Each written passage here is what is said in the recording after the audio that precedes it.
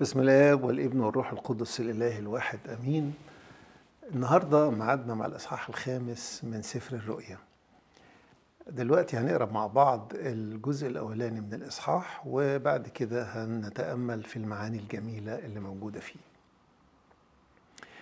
ورأيت عن يمين الجالس على العرش سفرا مكتوبا من داخل ومن وراء مختوما بسبعة ختوم ورأيت ملاكا قويا ينادي بصوت عظيم من هو مستحق أن يفتح السفر ويفك ختومه؟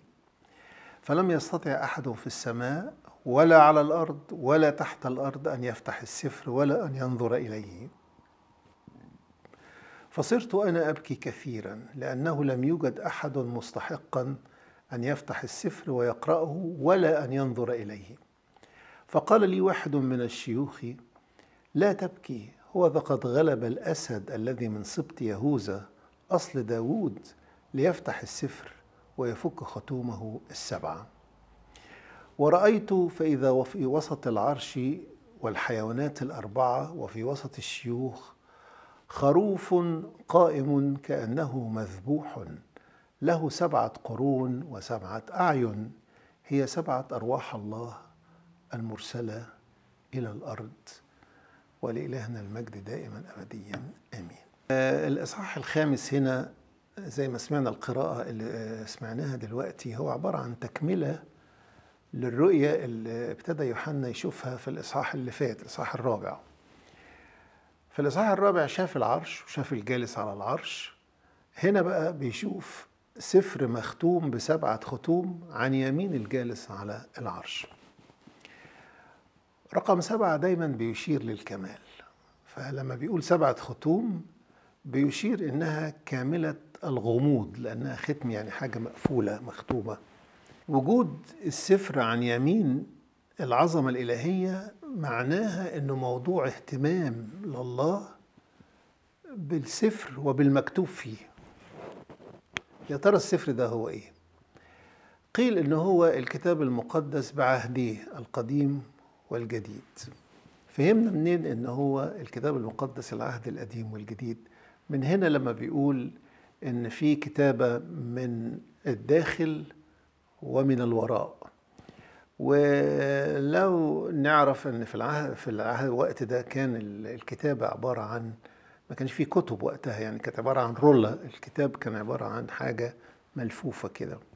فالكتابة من داخل اللي هي من جوه الرولة من جوه من داخل من وراء اللي هي من بره على السطح البراني بتاع الرولة.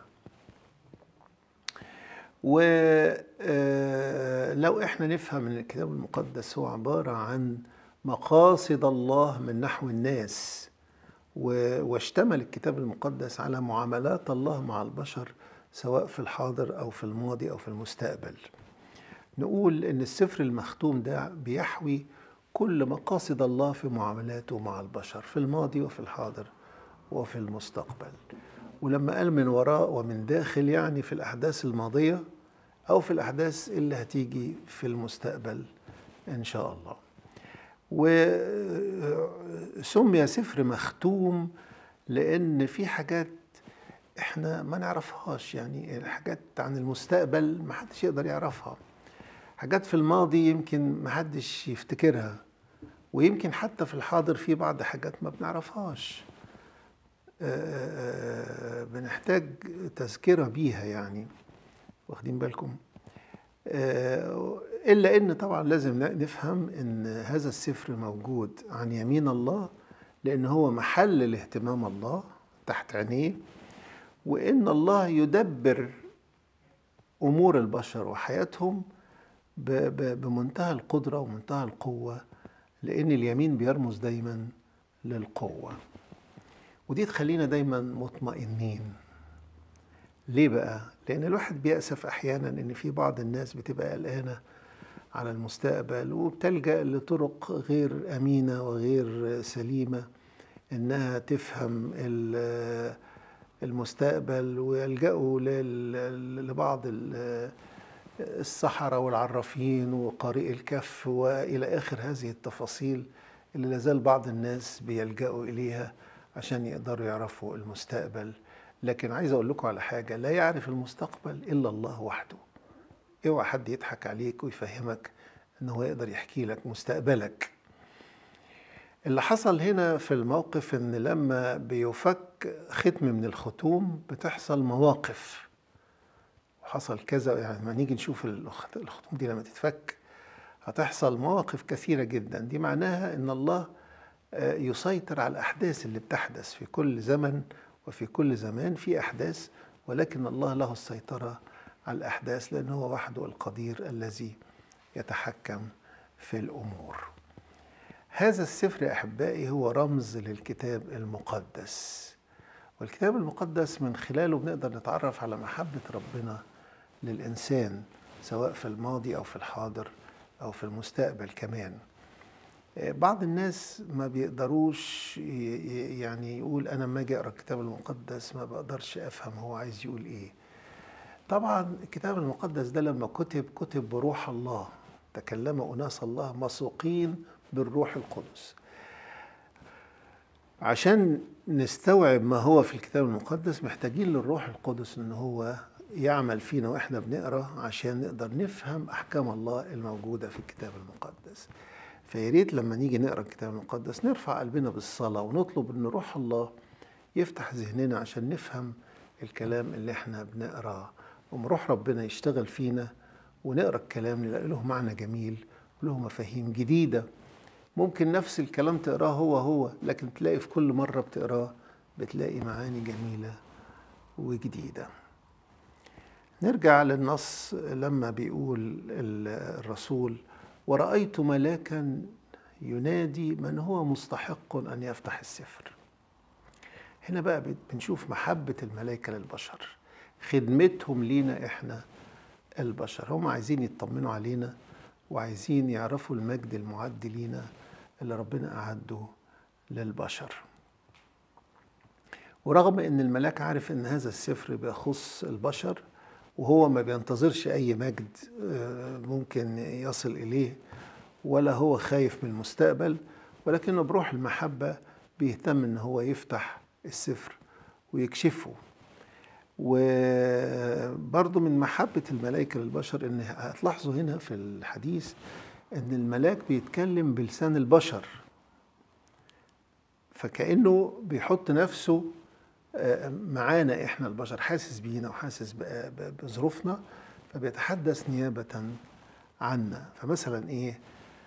يقول لك ذبحت واشتريتنا هو المسيح لم يذبح من أجل الملائكة ولا اشتراهم ولا جعلهم يملكون على الأرض ولا عملهم ملوك وكهنة زي ما قال الملاك. ولكن الملاك هنا بيتحدث بمشاعر الحب.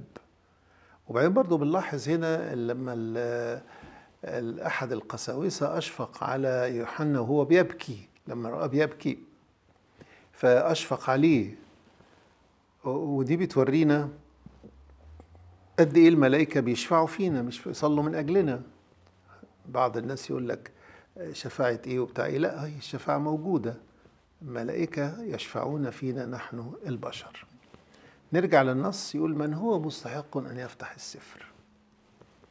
دي بقى تورينا خطورة وعظمة ورهبة المكتوب. إنه يعني فتح السفر وفك ختومه ده بيعني بداية أحداث كثيرة. الموقف بقى إن لم يستطع أحد في السماء محدش ما لم يوجد من هو مستحق إن هو يفتح السفر. صحيح السمائيين بيحبوا البشر وبيصلوا من أجلنا لكنهم ليس لهم تحكم في المستقبل. هم بلا معرفة يعني. وبعدين يقول من يستحق أن يفتح السفر ويقرأه. السفر مش ممكن حد يعرف يقرأه إلا لما يفتح الختوم بتاعته. طب ما فيش حد قادر إن هو يعرف الأحداث المكتوبة فيه ولا يحدد إمتى هتحصل ولا يسيطر عليها. يقول ولا في, في السماء الأرض ولا تحت الأرض. ده هنا بيورينا يعني حكاية تحت الأرض دي ذكرت عن عدو الخير عن الشيطان. لما انحدر انحدر إلى الهوية إلى أسافل الجب.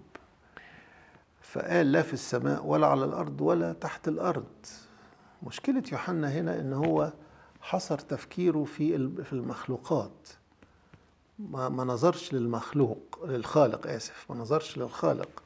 نظر للمخلوقات. لم يجد فيهم من هو مستحق أنه يفتح هذا السفر.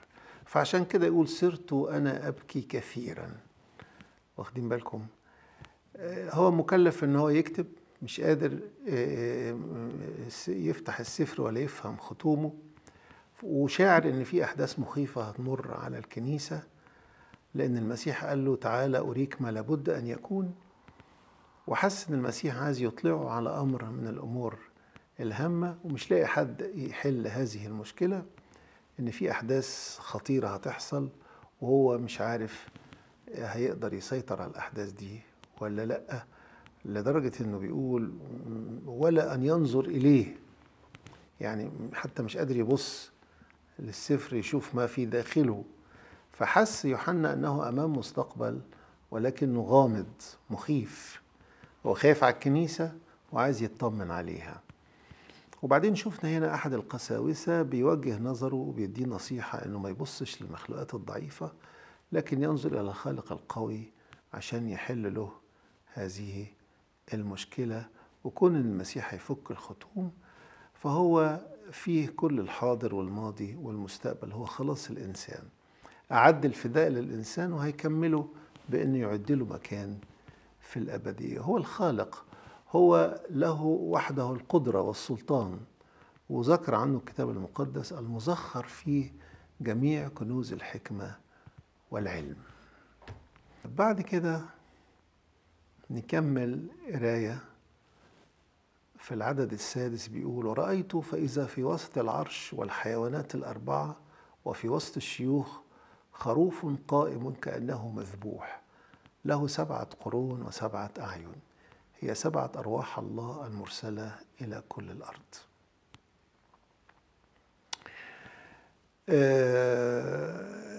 بيجي هنا بقى سؤال مهم جدا عايز أوضحه إنه هنا لما يوحنا شاف شاف خروف. لكن في قبل كده القسيس بيقول له إيه؟ بيقول له هو ذا الأسد الخارج من سبط يهوذا. طيب هو لما جه بص شاف خروف. فيا ترى هو أسد ولا خروف؟ نفهمها إزاي؟ هقول لكم نفهمها إزاي. هو أسد اللي شافه أسد في قوته في في جبروته في ملكه على كل الخليقة هو أسد. إلا إنه هو أيضا خروف. لما قدم نفسه ذبيحة على الصليب وحمل خطايانا. فهو يشبه بالأسد في قوته وفي جبروته وفي ملكه على الخليقة. لكنه أيضا هو خروف لما قدم نفسه ذبيحة من أجل خلاصنا. في معركته مع الشيطان على الصليب هو كان أسد. برضو النبوءة بتاعت أبونا يعقوب عن ابنه يهوذا لما كان بيتنبأ عن أبنائه تنبأ عن يهوذا إن هو يعني ربض على الصليب كأسد. المسيح فعلا لما انتصر على الشيطان على الصليب كان كأسد. ولما بيتحكم في الأحداث وبيفتح الختوم هو قوي كأسد. لكن في محبته وسفك دمه من أجلنا كان كخروف في تواضع وفي انحناء قدم نفسه ذبيحة من أجلنا. فأي أحداث تحصل في المستقبل ما نخافش منها إحنا في يد إلهنا القوي. أحبنا حتى الدم كخروف بس هو قوي كأسد. يدافع عنا زي ما الأسد بيدافع عن الأشبال بتاعته. واخدين بالكم؟ ويوحنا بقى هنا يوحنا مش مش يوحنا يوحنا آه يوحنا المعمدان بقى هنا لما شاف المسيح على نهر الأردن مقبل شاور عليه وقال هو زي إيه؟ حمل الله الذي يرفع خطايا العالم. حمل. الحمل هو الخروف الصغير يعني. فالمسيح في صراعه ضد الخطية والموت كان كأسد لكن في الفداء اللي قدمه كان كحمل. في الهيكل كان هناك مذبح النحاس اللي بتقدم عليه الذبائح. ده ده كان بيرمز للصليب. فمذبح النحاس كان له أربعة قرون على الأربع جناب. فالذبائح كانت تقدم على هذا المذبح كان يشير للصليب والمسيح قدم نفسه على الصليب اللي كان يشير إليه مذبح النحاس. ولكن كرمز لقوة عمل المسيح وضعت هذه الأربعة قرون لأن القرن دايما يشير للقوة. واخدين بالكم؟ فالمسيح كحمل ذبح ولكن كأسد كان قوي. وله أربع قرون لأنه هو قدم نفسه ذبيحة عن حياة العالم.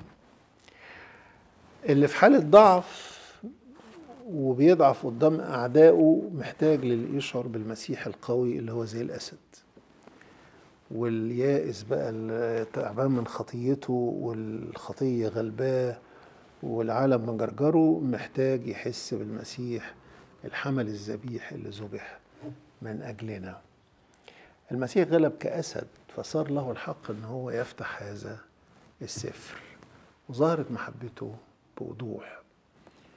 وما نلاقيش حد حبنا قد زي ما المسيح حبنا فبين يديه نسلم له أمور حياتنا ونتكل عليه وهو قادر إن هو يفتح هذا السفر ويفك كل ختومه. وهنا برضو نشير للسبعة قرون اللي شافها يوحنا. دي بتشير للقوة. القرن دائما يشير إلى القوة. ورقم سبعة يشير للكمال فهنا يشير إلى كمال القوة. نرجع للنص لما بيتكلم على أن له سبعة أعين هي سبعة أرواح الله. ولو نفتكر في الإصحاح اللي فات الإصحاح الرابع اتكلم عن الروح القدس. لما اتكلم عن سبعة مصابيح نار هي سبعة أرواح الله. والنار تشير لعمل الروح القدس لأن الروح القدس بيعمل في الكنيسة كأنه نار يحرق الخطية ولكنه يشعل غيرة المحبة وهو اللي حل على الروح على التلاميذ مثل ألسنة نار فأشعلهم بنار الخدمة والكرازة باسم المسيح وجعل الكنيسة منارة ونور للعالم. هنا بقى بيتكلم عن سبعة أعين هي سبعة أرواح الله. ده الروح القدس الكامل في عمله. الرقم سبعة يشير للكمال. وهنا الروح القدس اللي هو بيعمل في الكنيسة. فالمسيح له الروح القدس. الابن ثابت في الروح والروح ثابت في الابن. عشان كده قال له سبعة أعين.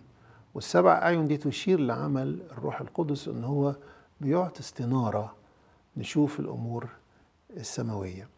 لكن التصوير هنا بيعني أن الروح القدس هو اللي بيكشف كل شيء حتى أعماق الله. هو روح المسيح زي ما أحيانا الإنجيل كان يذكره أنه روح المسيح. فالمسيح يعرف كل الأمور ويعرف المستقبل قدام عينيه. و... وده طبعا تصوير بيؤكد لنا أن المسيح كامل المعرفة وكامل الحكمة لأن الروح القدس هو روح الحكمة. وبالتالي له الحق أن هو يفك الختوم المرسلة إلى كل الأرض. والمسيح وعد الكنيسة قبل صعوده أنه هيرسل ليها الروح القدس. والمقصود هنا أن المسيح بيرسل الروح القدس للكنيسة عشان يعطيها استنارة لأنه هو الروح فيكون له الحكمة والمعرفة. بعد كده أتأمل معاكم في الصورة اللي شافها يوحنا الخروف أنه قائم. ليه وصف الخروف أنه قائم؟ أولا لأنه قائم من الأموات. دي نمرة واحد. نمرة اتنين أنه قائم يشفع فينا بدمه لمغفرة خطايانا. نمرة ثلاثة إنه قائم مستعد إنه يعمل من أجل فك الختوم وتدبير أمور الكنيسة وحمايتها في هذا العالم. لذلك وصف أنه قائم. طيب سؤال تاني أجمل منه بقى. ليه وصفوا أنه كأنه مذبوح؟ واخدين بالكم برضو ده معنى جميل جدا نتأمل فيه. علامات الآلام وسفك الدم فضلة في جسد المسيح. إحنا في القيامة أي حد مننا فيه عيوب في جسده لما هنقوم في اليوم الأخير بالجسد النوراني ما هتبقاش فينا عيوب. كل الآثار دي هتروح. ولكن المسيح له المجد احتفظ بآثار الجراحات في جسده ليه؟ ليه احتفظ بآثار الجراحات في جسده؟ عشان يشوفوها المؤمنون ويسبحوا ربنا على الفداء اللي عن طريقه أتى بهم إلى السماء والأشرار يشوفوها فيندموا أنهم لم يتمتعوا بخلاص المسيح فعشان كده علامات الآلام هتظل باقية في المسيح وعشان كده يوحنا شافه كأنه مذبوح. كأنه مذبوح بيفيد بدمه عشان يقدسنا ويطهرنا. كأنه مذبوح يفيض علينا من دمه كل يوم في سر التناول. بنتناول من جسد الرب ودمه فيفيض علينا من دمه عشان يغفر لنا خطايانا. المسيح قدم نفسه ذبيحة حية أبدية. فيها فعل الموت وفعل الحياة. الاثنين فمات آدم بحياته القديمة بموت المسيح ولكنه في المعمودية إحنا بنتحد مع المسيح في موته ولكن بنطلع من المعمودية فبتتجدد فينا الحياة بنولد إلى حياة جديدة. عشان كده يقول معلمنا بولس الرسول مدفونين معه في المعمودية. ففي المعمودية بنمارس الموت ولكن بعد ما بننزل في المية بنطلع فحياة بناخد حياة جديدة. عشان كده يقول بولس الرسول لي الحياة هي الإيه؟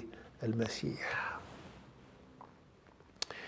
الحقيقة رؤيا يوحنا دي اللي إحنا شايفينها قدام عينينا إنه شاف الخروف قائم كأنه مذبوح هذا أعظم تعبير ورد في الكتاب المقدس عن ذبيحة الصليب الممتدة اللي إحنا بنتناول منها كل يوم من في المذبح في القداس عن طريق الصلاة الخبز والخمر بيتحولوا إلى جسد ودم المسيح الذبيحة الحية. فالقداس هو امتداد لذبيحة الصليب للخروف القائم كأنه مذبوح أشكركم وإحنا كده ختمنا الجزء الأولاني من الإصحاح الخامس. وإن شاء الله في المرة القادمة هنستكمل بقية الإصحاح الخامس. ربنا يحافظ عليكم. شكرا جزيلا.